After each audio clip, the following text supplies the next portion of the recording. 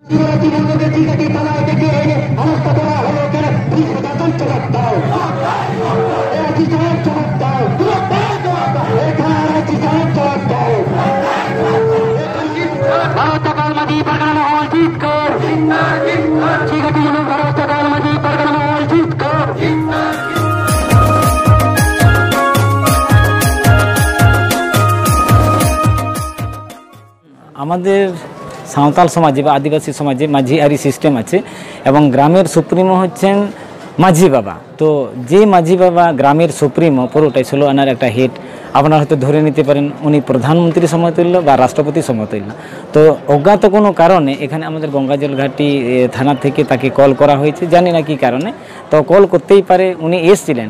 ওনা ওনাকে এখানে যেখানে ওই শেল্টার দেওয়া দরকার তা না করে এখানকার সেই ডিউটিরত অফ- অফিসার যিনি ছিলেন ওনার উনি কিন্তু অন্যায়ভাবে, অমানবিকভাবে এনার প্রতি কি বলব টর্চারিং থেকে আরম্ভ করে মানসিক ভারসাম্যহীন যাতে পড়ে সেই ধরনের একটা কথাবার্তা থেকে আরম্ভ করে সেই বলা যায় টেনে হেঁচড়ে উনি রুমে তাকে ডেকে নিয়েছেন এবং জোরপূর্বক ওনাকে ধমকও দিয়েছেন, বলছেন হ্যাঁ আপনি মাঝি বাবা আছেন, আপনি একটা গ্রামের সামান্য সমস্যা, আপনি বললেই সব কিছু ঠিক হয়ে যাবে, আপনি বলছেন না কেন? বা আপনি যে মাঝি বাবা, আপনি যে মডল মডল বানান করো, এই ধরনের একটা কটূক্তি মানে মাঝি বাবাকে একদম চরমভাবে অপর্ণা করা হয়েছে। তার সাথে সাথে যে ও হয়তো হয়তো ভয়ে কিছু বলতে চাইছে না, তখন তার সেই চুলটা ধরেও তাকে সেই মানে গাল, গালে চড় ছাপড় দিয়েছে পিটেও দিয়েছে, ওটা তো চলল।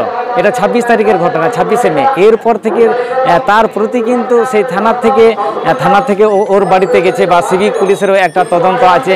যে থানায় চলে এসো। কিন্তু সে তো ভয় একটা একটা খেয়ে গেছে, ও তো লুকিয়ে বেড়াচ্ছে। কোনোদিন হয়তো রাতে ওকে সেই গাছের তলায় শুতে হয়েছে বা বাইরে শুতে হয়েছে। এই ধরনের একটা সিচুয়েশন যখন হলো, পারগানা মহা, মহল থেকে ওনাকে অনেক আশ্বস্ত করা হয়েছে যে তোমার কিচ্ছু হবে না, কিন্তু উনি মেতে, মেনে নিতে পারেন না। যেভাবে হয় যে যে কোনোভাবে হয়- হয়তো ফোনে কিংবা ডায়েরিলে তার প্রতি যেটা অন্যায় অবিচার করা হয়েছে মানে আমরা বলব থানার প্ররোচনাতে বা যে কোনো ব্যক্তির প্ররোচনাতে উনি কিন্তু সেই আত্মহত্যার পথ বেছে নিলেন। এটা খুব দুঃখজনক ব্যাপার- ওনার বয়স তো সাতাশ সাতাশ বছরের মতো। উনি তো ইয়াং যুবক। উনি কেন আত্মহত্যা করবেন উনি তো প্রতিবাদ হতে পারতেন। কিন্তু আমরা মনে করেছি বা উনিও আমাদের বলেছেন যে না, আমি কিন্তু অস্বস্তি বোধ করছি, থানা থেকে অস্বস্তি বোধ করছি। এই জন্য আমাদের ডেপুটেশনটা দেওয়া হলো।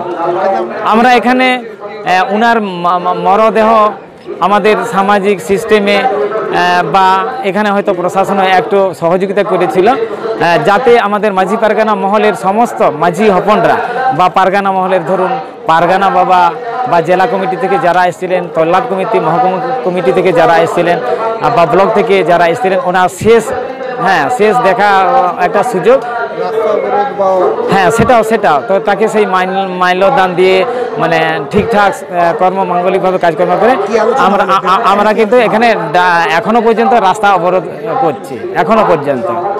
যেখানে যে আলোচনা যে বিষয়গুলো হলো মূলত বিশেষ করে তার পরিবার উনি তো একটা রোজগারশীল ব্যক্তি ছিলেন। ওনারা যদিও চার ভাই কিন্তু সেই শিবারতী আহ, মুর্মু মাঝি বাবা উনি কিন্তু বাবা মাকে দেখতেন। বাবা মা কিন্তু অক্ষম রুজি রোজগারে অক্ষম।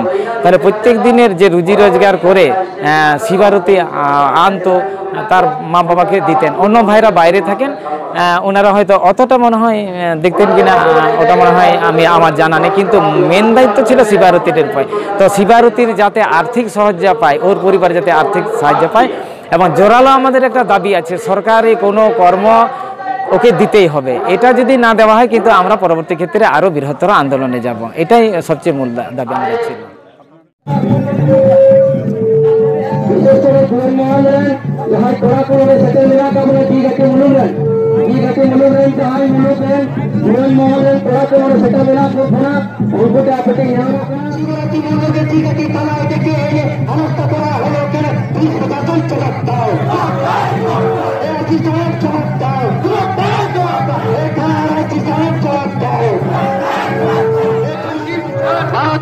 ভারত সকাল মাঝি পারগানা মহল জিত কর ঠিক আছে মনে ভারত সকাল মাঝি পারগানা মহল জিত কর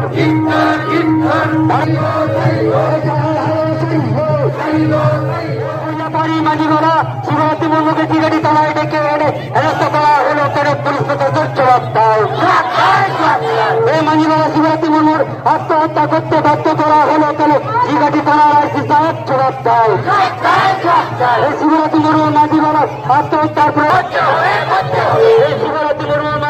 আত্মহত্যার প্রয়োজনায় জড়িত দোষীদের বারো ঘণ্টার মধ্যে গ্রেপ্তার করতে হবে।